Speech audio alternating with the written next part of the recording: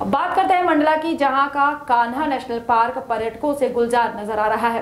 पर्यटकों को खास नज़ारे पार्क के भीतर दिखाई दे रहे हैं। ऐसा ही एक नज़ारा सोमवार को देखा गया, जहाँ बाघिन अपनी दो सावकों के साथ शहर पर निकली।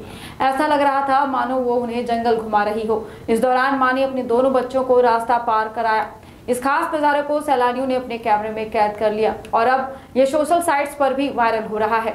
गौरतलब है कि कान्हा नेशनल पार्क में इन दिनों पर्यटक काफ़ी संख्या में पहुँच रहे हैं तो वहीं बाघों के लिए जाने जाने वाले इस पार्क में बाघों के दीदार भी लगातार हो रहे हैं।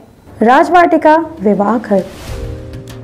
सर्व सुविधा युक्त प्राकृतिक सुंदरता से ओत प्रोत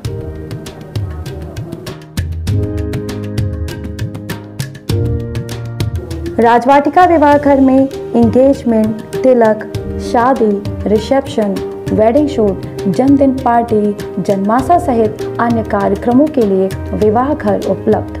अपने मांगलिक कार्यक्रमों को यादगार बनाएँ शहर के मध्य वातानुकूलित राजवाटिका मैरिज गार्डन के साथ। हमारा पता है, Rajwatika marriage garden, national highway जूला मोड़, भुंडहा, रीवा। अधिक जानकारी के लिए संपर्क करें, nine eight two seven zero zero four two five one.